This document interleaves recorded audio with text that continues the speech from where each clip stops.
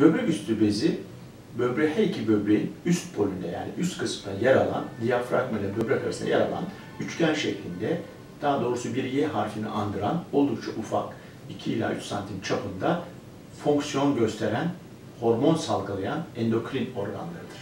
Böbreğin üzerinde yer alması dolayısıyla böbrek üstü bezi denmiştir. Diğer taraftan adrenal veya sürenal diye adlandırılır. Ancak fonksiyon açısından endokrin organdır ve endokrin cerrahisiyle ilgilendiren bir bezlerdir.